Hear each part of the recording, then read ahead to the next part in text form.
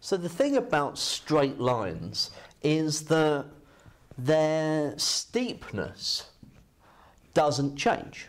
It remains fixed. So here is uh, a part of the line y equals 2x plus 1. Now, we know from our GCSE knowledge that we can read off the equation of a straight line, okay, given in the form y equals mx plus c, we can read off the gradient as m. So I can say here that the gradient of this line is equal to 2. Okay, I can read that off.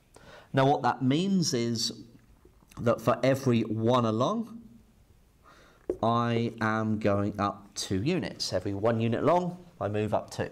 Okay, that's what it means for a gradient of two.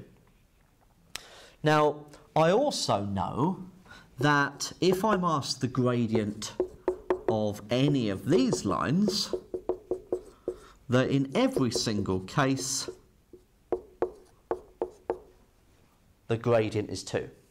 Okay, so this number that is on the end, which is just the y-intercept, and just tells you how high up on the graph the line is, the gradient is unchanging.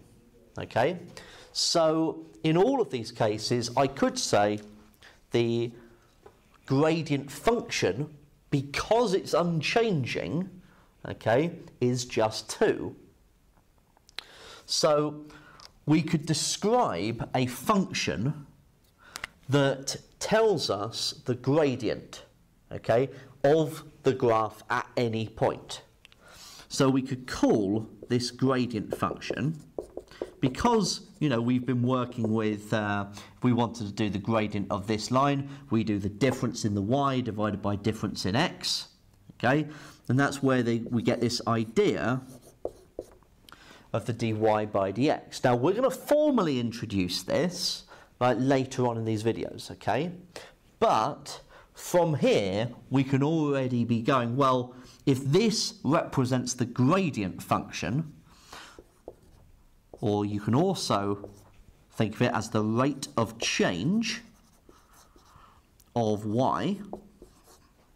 Okay, the rate that y is changing with respect to x. Well, in each of these cases, dy by dx is 2. Okay? It's telling me that the gradient is always 2. It is fixed, it is constant and this number that is on the outside doesn't make any difference. It just rises or lowers the graph into another position. The gradient of it is unchanging.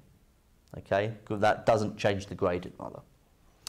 So from this position, we're then going to start looking at the gradients of curves and where we need to go thereafter to look at more complicated uh, gradient functions. This is really the first step into calculus.